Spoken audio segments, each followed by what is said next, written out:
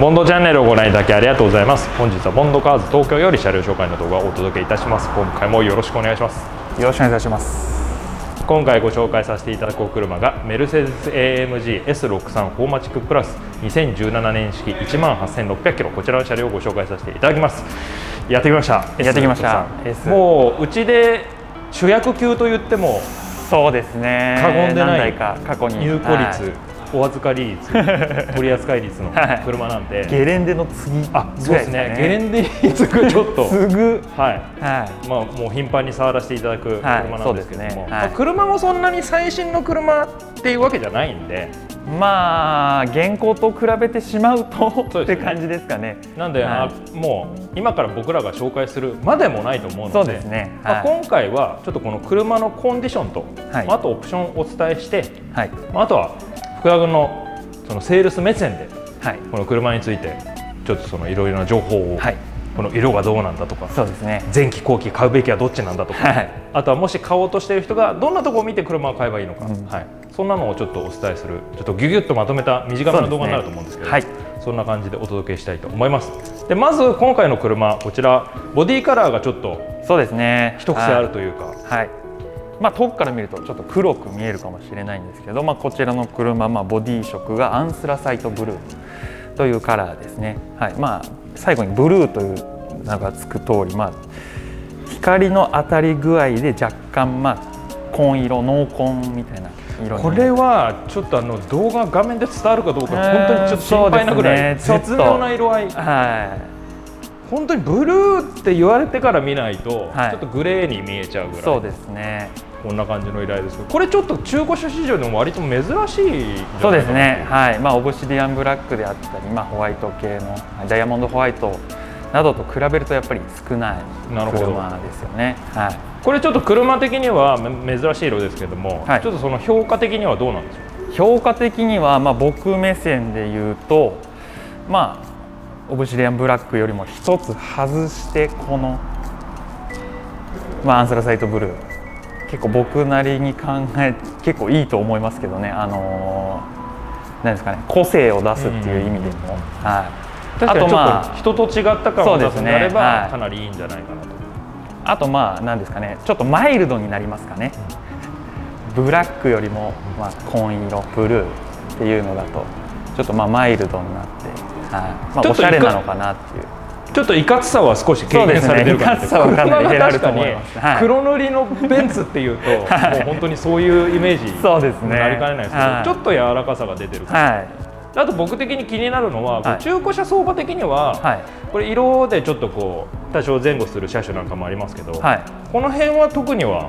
そうですね、まあ、基本的に、まあ、ブラックとまあ赤とかで比べたら、まあ、それ赤の方がまあ値落ちっていうか、まあ、リセールバリューの方はちょっと若よくはないですけど、まあ、同系色、まあえっと、なんですかねブラックグレーホワイトとかにま含まれる車なんで、まあ、リセールの方はま若干低いイメージはありますけど、まあ、全然そのレッドと比べたら全然、はい、値段は残るのかなっていう印象はあります。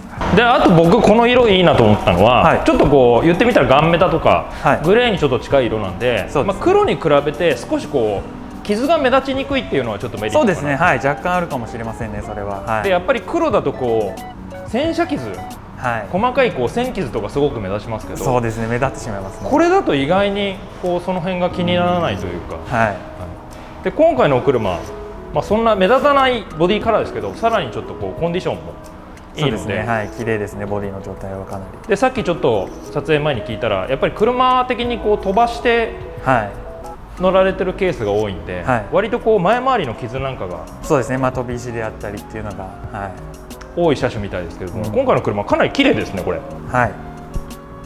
見るべきところとしてはやっぱりバンパーですか？バンパーですね。やっぱ飛び石いっぱい当たりますし、まあ、まあもちろんガラスの方も当たりますけど今回の車本当にこうリップからこのバンパーからかなり綺麗という、まあ、グリルなんかもそうですしあと意外に多いのはこうボンネットってこうねそうですね意外と、はい、先端が。だから結構ここのその先端だけこうプロテクションなんていうケースもありますけどありますね、はい、今回の車は本当に非常にコンディションがいいことになってます、はい、であと僕前に土方さんから聞いたのは、はい、ヘッドライト、はいはい、これが意外に飛び石被害を食らっててそうですね。傷になってるケースなんかもやっぱり中にはあると。で車的にやっぱりいろんな機能がついたヘッドライトなんで、はい、もう交換とかになっちゃうととてつもない金額になっちゃう。で、ね、修理もできないと、はい、なのでここもちょっと見ておくべきポイントかなとそうですね。ヘッドライトのレンズとかは結構まあ気になりますからね。傷とか入ってしまったりすると。でまたこのレンズ類ってこう全体的なイメージがこう出ちゃうというか、はいはいはい、レンズがもうちょっとこれより古い車とかでちょっと黄ばんでたり傷ついてたりすると、はい、こう車が急に古く見えるというか。そうですね。古い印象を受けちゃいますよね。やっぱり黄ばんでたりしたりすると。なんで一つこのヘッドライトのコンディションっていうのはちょっと重要な部分かなと、はい、で今回のお車、まあ、自画自賛になっちゃいますけど コンディションすごくいいと、はい、自信を持ってお勧めできるコンディションなっております。であとちょっと横だったり全部見ていきますけど、はい、この車的になんかこうオプションおすすめのオプションとか、まあ、これついてた方がいいですよみたいなのってありますか？うんまあそうですね。まあ S63 なんで、まあ、基本的な装備はもう全部ついてるんですけどまあダイナミックパッケージっていうのはやっぱそうですね。おすすめですね。それは足元ですね。足元です、はい、じゃあ足元も見ていきましょうかまあ、足元だけではないんですけど、ね、一番分かりやすいところですよね。はい、はい。まあ、この車は本当はダイナミックパッケージ入ってるんですけどあえてちょっとホイールのカラーリングに合わせてレッドキャリパーをプラティックシルバーに塗装させていただいてます、はい、本来だったらダイナミックパッケージ選ぶとキャリパーが赤くなるところ。そうですね。はいレッドキャリパーですね。みんなお金を払って赤くしているところをそうです、はい、さらにお金をかけてシルバーにするという、はい、非常に贅沢なお車、はい、でダイナミックパッケージはこれブレーキとと、まあ、あとステアリングですかね、まあ、その辺がちょっとアップデートされる、はい、そうですね。でそれは結構こう中古車市場なんかでついてるついてないは結構大きいと思いますそこは。はい、基本的にまあ市場出てる車もダイナミックパッケージはもう絶対ついてるかなっていう。ついてないのだともう逆にもうかなり下がってしまう印象ですね。なるほど、はい、装着率はじゃかなりかなり高いです。はい。マリについてない個体もあるあります、はい、うちの方でじゃ探す時も、はい。まあ、その辺は必ずチェックして。そうですね。ダイナミックパッケージなしっていうのはそんなに仕入れはしないのかなっていう印象はあります。なるほど、はい。まあ、ちょっと後からするにしてもすごくハードルが高いんで。そうですね。はい。なるほどじゃあその辺はやっぱりついてたものを購入してもらうのがいいかな。はいそうです。であと今回の足元やってまいりました。アナーキー。アナーキー。AN28 ですかね。AN29 ですね。ごめんなさい、はい、AN29 はい、これが装着されてる、はい、これはもうめちゃめちゃお買い得じゃないですかじゃあ。これはそうですね。このホイールの価値分かっていただける方であればもうおすすめですね。3桁万円を優にもう軽く超えてしまいますねこのホイール4本で、これが装着されていると、はい、で今回のホイールこれ全部ポリッシュ？はいポリッシュです。フィニッシュということで、はい、キラッキラ。キラキラです。ちょっとあのラグジュアリーな感じとそうです、ね、まあ、車種が車種なんで、はい、ちょっとこうアウトローな感じも 醸し出してますけれども、うんでサイズ的には22インチ。22インチです、はい、で今回車高もベタベタじゃないですかもう。そうですね。はい。ロアリングキットで、はい、車高の方下げさせていただいてます。ロアリングキットっていうのが、まあ、純正のそのエアサスの位置見てるセンサーの、はい。まあ、基準値をずらすそうですね、はい、なんで純正のその上げたり下げたりっていう機能も生かしたまま横断されてると。はい、そして今回この車高なんですけども絶妙な車高になってて少し引っ込み気味という。そうですね。はい。これ車のキャラクター的にってことですかね。そうですね。まあまあでもまあ十分面は出てますけどね。もう内 内山セッティングに見慣れてるんで、はい、はい、ちょっと目がバグってますけど、はい、本当にこう、わずかにこう引っ込んでるぐらいの、はい、はい、ちょっと上品ぐらいの足元になってまあ、ハンドルフルで切ってもまあギリギリ当たるっていうまあ調整ですよね、はい、あのもうこの車高とタイヤのホイタイヤホイールのチョイスに、はい、もう東京店らしさを感じました。ありがとうございます。これ過去に東京店で全部制作させていただいたこともそうですね。はい。弊社の方でカスタムさせて。なのでその部分も安心して、まあ、おすすめできる答えになっております、であとはさすがの低さでも横なんかもかなり低くて、まあ、この辺のメッキのパーツとかもやっぱり似合いますよね、ね、はい。まあ、メッキパーツに合わせてやっぱホイールもポリッシュなんでかなりまとまってますよね。であとはもう横も非常に綺麗です。結構こう車外のホイールなんかつけるとこう巻き上げでこう傷がついてたりとかそうですね、はい、割と多かったりすると思うんですけれども今回の車この辺なんかも非常に綺麗です。だこの辺もだから購入される時はちょっと見た方がいいポイントです、ね、そうですね。はいホイールの巻き上げで飛び石っていうのはかなり多いんで、ね、はい、こんな感じになってると。あともう一つ見るべきポイントとしてはやっぱりこう S クラスこう距離乗れちゃうんで、はい、まあ、消耗品がまあそろそろ交換ですよっていう答えも少なくないのかなと。はい。でやっぱりうちの場合だとちょっと更年式とか低走行距離触らせていただく機会が多いんで、はい、まあ、なかなか、まあ、少ないケースですけど、はい、まあ、やっぱり世には、まあ、距離走った車なんかもあるんで、はい、そういった場合だと結構こうタイヤとか。そうですね。タイヤとかはやっぱり見ていただいた方がいいですよね。タイヤパッド。あとそうですね。でやっぱりこのぐらいのサイズになるとタイヤ代も 比較的高額になっちゃ高額です。はい。あとブレーキのパッドも結構高額だったりと。か、はい、あと車的にやっぱりドイツ車なんて、まあ、ローターとパッド両方がこう削れてそうですね。制動力を発揮するような仕組みになったりするんで、うん、このローターですから多分交換ってなるとかなり高額になってしまいますね。ローター交換となってしまうと。で車種によっては結構そのパッド使い切ったらローターも交換とか、はいはい、もしくはパッド交換2回に1回ローター交換とか、はい、そのぐらいの、まあ、ライフサイクルで交換推奨している車種なんかもあると思うんですけど多分メルセデスも1回2回ぐらいで。そうですねはい。ローターの交換はありと思います。そうなってくると結構高額になってくるんじゃない？かな、はい、なんでまあ距離もそうなんですけどやっぱりその踏み方によってだいぶ違うよね。そうですね。踏み方であったり、まあ、ブレーキングであったりまあ、乗り方が出ますよね。やっぱりタイヤとかパッドとかっていうのは。はい、なんで、まあ、中古車購入される場合はその辺はよく見ていただいた方がいいんじゃないかな。と。はい、この子だから買うときにじゃあ一緒に交換でなんてなってくると、はい、結局ちょっとこう整備代が高くなっちゃったとか、はい、もしくは買った後交換するってなってくると、はい、えじゃあもうちょっと更年式変えたじゃんってなりかねないので まあちょっとよく見ていただいて、はい、で今回の車はまあ、距離的には1万キロ台ということで、はい、パッドも十分残念残ってます。し、ね。はい。まあ、タイヤもバリヤマバリバリヤマぐらいですね。まだ使えます、全然、はい、しっかりしたものが装着されてます。そして後ろ後ろは特にあれですかね。気にするべきところはないのかなそうですね、まあ、後ろ、まあ、車高をこうやって下げた車ですと、まあ、下の下すりとかを見ていただいた方がいいのかなっていう。はい。結構こう都内なんかで使われてると狭い駐車場とかで。そうですね、はい、コンビニの縁石とか、うん、はい、あとちょっと気になるかなっていうのはこの車結構トランク使う車だと思うんですよ。そうですね。確かにそうです。なんでここが結構こうはい、になっちゃってる答えなんていうのも、まあ、少なくないのかなと。まあ、こちらの車はそうですね。そういった傷も全く全くと言っていいほど傷がない です、はい。まあ、コンディション含め今回の車はじゃあもう自信を持ってお勧めできる。自信を持って、はい、はいまあ、今日入り口にこうバンって動画撮るためでもありますけど入り口にこうバンって止めておける、はい、はい、お勧めできる車体になっております、じゃあ続いて内装を見てみたいと思います、はい、もう内装もちょっとコンディションチェックと、はい、使用チェックでいいかなと思います、はい、内装これまたおしゃれじゃないですか。そうですね。はい。マグマグレーと、えー、エスプレッソブラウンのコンビレーザーですね。ちょっとこうよく見るとドアなんか。この上がブラウン。そしてここから下がグレー、はい、ちょっと絶妙な色合いで。そうですね。はい。ちょっとまた黒と違った感じの、はい、かなりおしゃれな感じになってます。そして今回あのカーボンパッケージとか入ってないんでウッドのトリム。ちょっとこのレザーの色とウッドのトリムがなんかちょっとこう、合ってる。そうですね。はい。バッチリ合ってます。そしてなんかちょっとクラシカルな雰囲気も少し感じるぐらいの、はいちょっと落ち着いた内装。そして中もまたこのシートダッシュボードいいじゃないですか。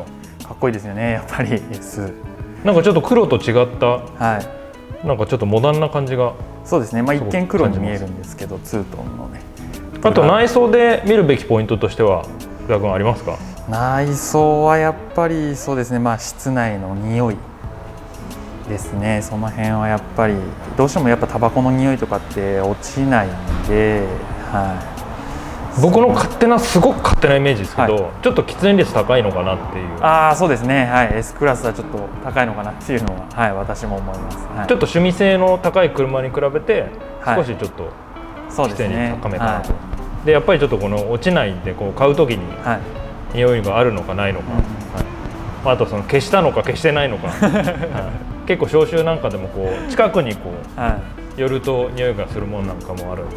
そうですね、はい、結構まあルーフの匂いとか噛んでいただければ結構なるほど。匂いの判断わかるかと思う。その辺もチェックしていただくといいんじゃないか、はい、あとステアリングは後期なんでやっぱり後期のステアリングはあのー、僕は圧倒的に後期がかっこいいな。そうですね。かっこいいですね。前期と比べてやっぱり。思うから。であとこの個体もそうですけどもちょっとあのやっぱりこう操作系なんかで触るところなんかは、はい、少しこうレザーの痛みというかそうですね、まあ、マのところ本当にちょびっとこうレザーが、はい、はい、なってたりとか。あとハンドルなんかも結構その操作系のところは、やっぱりレザーが擦れたりテカったり、ね、はい、あるんでやっぱりそこ交換したりするとかなり費用かかるんで、はい、まあ、見るべきポイントかなと。うん、であとなんかちょっと噂に聞いたら前期だとナビえー、メーター周りの液晶の故障がまれにある。まれ、はい、にはいあったりしますね。まあ後期だとちょっとその辺治ってるんじゃないか疑惑と。そうですね。まあ基本的にやっぱ前期よりは後期の方がやっぱりはい、改良されている部分っていうのはあるんで故障の面に関してはまあ若干少ないのかなっていうイメージはあります、はい、なんでちょっとその辺でも後期よりあその辺でも前期より後期の方がそうですね、まあ、車も新しいっていうのもありますけどね、そうですね。はい。2017年式で高年式なんで、はい、その辺は安心して乗っていただけるかなって思います。あとちょっと下見で話が出たのはバイザーが割とみたいですね。このミラーの蓋のところ。ここですこれが結構こう BM なんかと違ってスライドじゃなくてパカッと開くタイプなんで、はい、まあ、これが年数を経過すると経年劣化で蓋がこう割れちゃったりとか割れたり、はい、しますね実はこれ僕ミニに乗ってた時もミニもこう蓋割れるっていうのは結構ありました。あそうなんですか。欧州車全般ちょっとこうそうですね。ここは結構まあ割れやすい。年数経過するとプラスチックが脆いのかな、はい、なので隣で奥様が開けようもんなら、まあ、すかさず止めていただいた方が ちょっと待ていっつって、はい。はい、そっと開けてください。そうですね。はい、はい、まあ、この辺の NC 型だと全然全然まだだまだ大丈夫、ね、はいこの車は全然大丈夫です、まだもう本当に長く乗られるんであれば、まあ、そういったちょっと気遣いなんかもそうですね細かい部分であったりっていう、まあ、こちらの車に関してはまあ全然大丈夫。はい。とにかく内装も今回の車非常に綺麗です。はい。はい。ちょっと僕が乗るまでもないと思いますので、はい、今回はちょっとなんか省略させていただきます。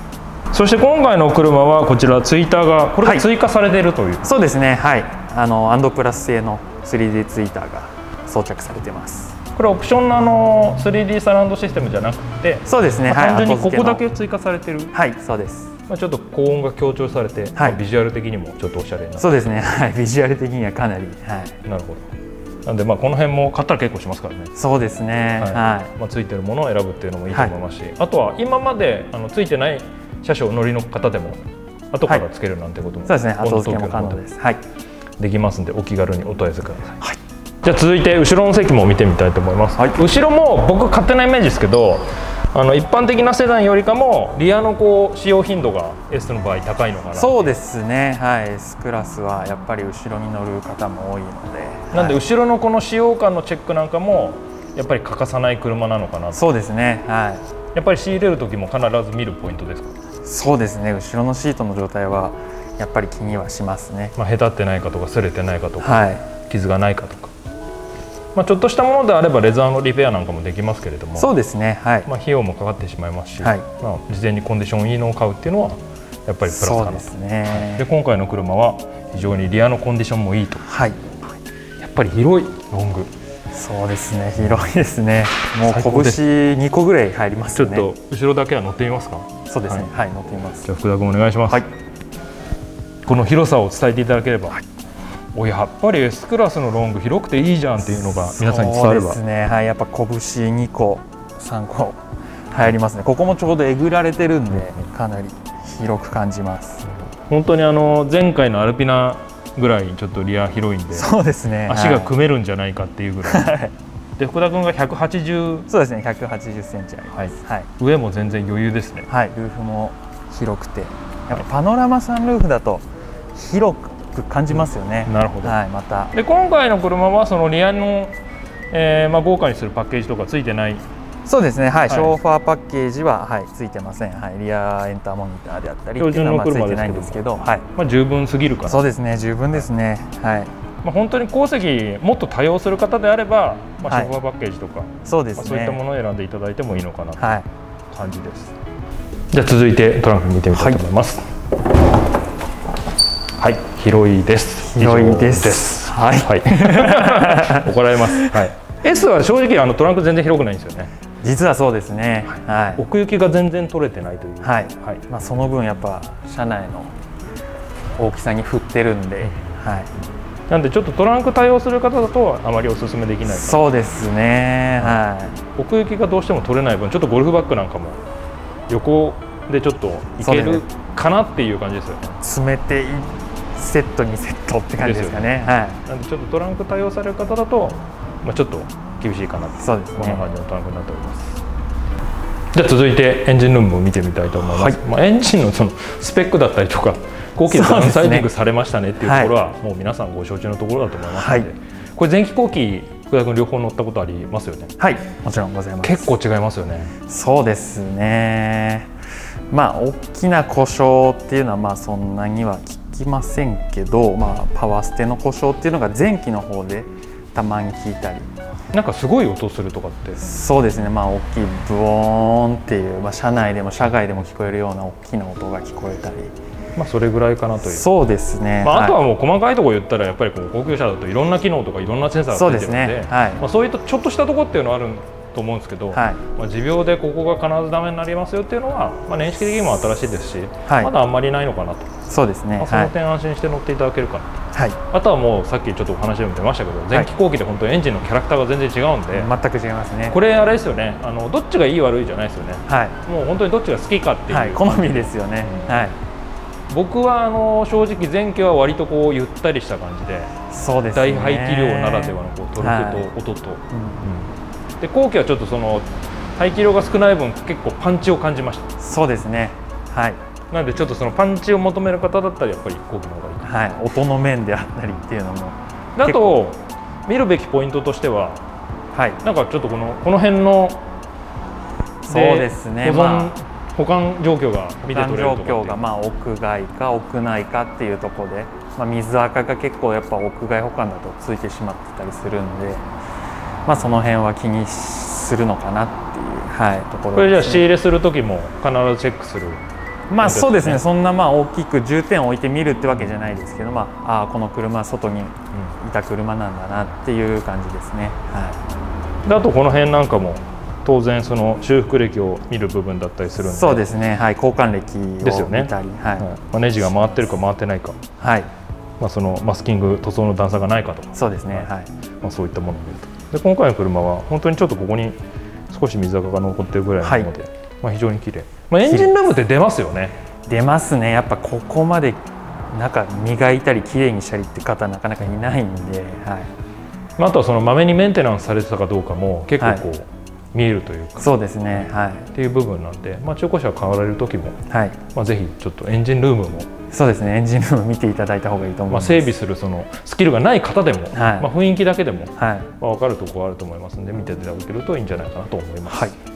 続いて店頭周り今回のお車はデイライトのコーディングもしてあるということなんで、まあ、その辺含めてちょっと確認してみたいと思います。お願いします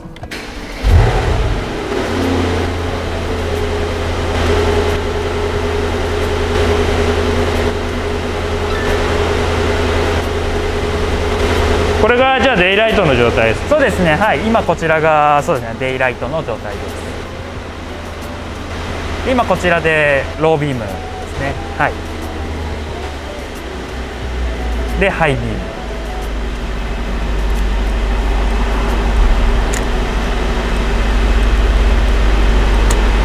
続いてマフラーの音も聞いてみたいと思います。お願いします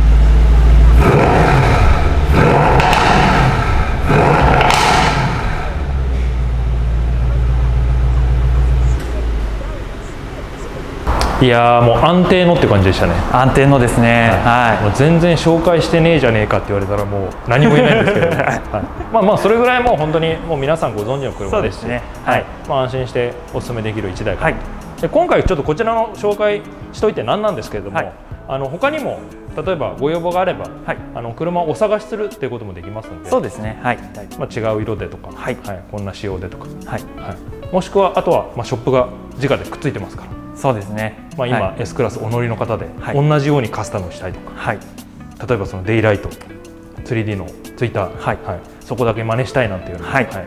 まあ、お気軽にボンド東京までお問い合わせください、というわけで今回はメルセデス AMG S63 をご紹介させていただきました。車両の詳細は動画の説明欄よりご確認ください。最後までご視聴ありがとうございました。ありがとうございました